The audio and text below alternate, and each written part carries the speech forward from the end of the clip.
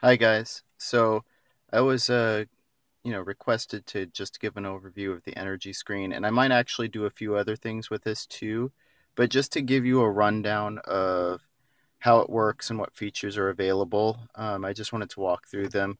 You know, the first is the uh, flow screen. I don't really use this one very often. This is something that maybe you would use if uh, you have kids in the car or something and they want to watch as you're driving. Can keep people entertained, but um, I rarely, if ever, use it. It was more important, I think, for the Volt than the Bolt EV because the Volt, at least, it would tell you whether you were um, engaging the internal combustion engine and generator, uh, whereas with the Bolt um, EV, it's just pretty straightforward. You either have power coming in or power going out. Uh, this is where I, one of my criticisms for GM is if you're going to have this screen, add some data. Um, I want to know amperage. I want to know volts. Um, I want to know kilowatts. I'd like to see a lot more data on this screen, uh, maybe kilowatt hours left in the battery, or at least estimated. Uh, so if you're if you're going to put a screen like this up there, GM, if you're listening, give us more data. Um, all right, and then you know this you just click back. It's pretty intuitive. Uh, the charging now, uh, you have uh, a few different options uh, with the with the 120 volt um, charging. You can actually change the amperage, uh, but it's going to give you a warning just so you know you you don't overload your circuit and uh, you know so 12 amps. It, it's going to to take about 52 to 54 hours to recharge a Bolt EV from nothing. Uh, eight hours, I think it'll take something like 70 hours. It's it's it's much longer. Uh, one thing I noticed though, um, and and I'll I'll verify this, but it looks like because I'd switched it over before, um, I think it saves the switch, unlike it did like in the in the Volt. The Volt will automatically default back to eight amps every single time, where it seems like the Bolt EV does not. You can also do other things too, where um, you know you have the timing and uh, you can control all of that. So uh, if you if you go to this, you notice it also opens up more options on the bottom in terms of uh, your electric rate preference and things of that nature. So you can set it to do a departure, and if you do this, um, you you can go through and edit, and you can set the times for uh, for when you want you know when you're planning to depart. Uh, so it'll it'll kick on the energy and make sure that you're full by the time you depart or or whatever you want it to be. Um, now this I would leave I would leave on just because how often are you going to plug in and not want a minimum of about 100 miles of range? You're, you're going to want that 40% on all the time. Just be, you, whenever you plug in, if you're that low, might as well.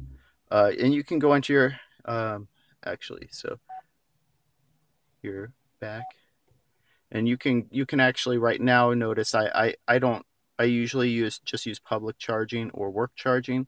So the charging rate doesn't really matter to me, but you can go in here and select. So the edit isn't live until you select. So say you want, uh, you know, off peak only, and then this will, um, you know, select the most, uh, I guess, efficient or uh, the the cheapest um, times to refill your battery. Um, and you can you can customize it and again you can go to edit your preferences and this this goes to like the departure schedule. You, you know you can make make your uh, um you know your charge completion to be the earliest it can possibly complete or or the latest it can it can possibly complete. Right.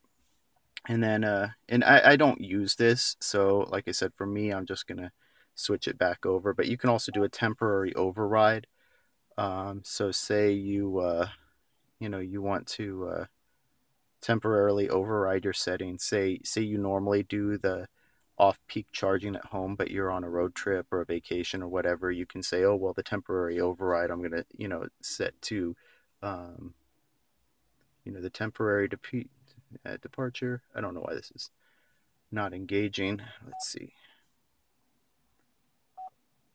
That is odd. Okay, well, that's a little quirk. So, anyway, so it looks like um, you you have to to toggle around with that. Interesting. Um, So now you can do immediate. Yeah, all right. But anyway, um, yes, and I do want to cancel this because, like I said, for me, my default setting is always going to be um, is I don't I don't know if that's a quirk with the interface, but mine is always going to just be to immediate. And then uh, for the information, this just gives you a breakdown of how you used your energy, and you can look through different charts of it too, uh, where where your inefficiencies were, where your efficiencies were, um, you know, and you can check what your efficiency history is, and you know, and you can reset it too. Um, I just leave it on this just because it gets uh, easy breakdown. And then uh, energy settings, you, you have another few options.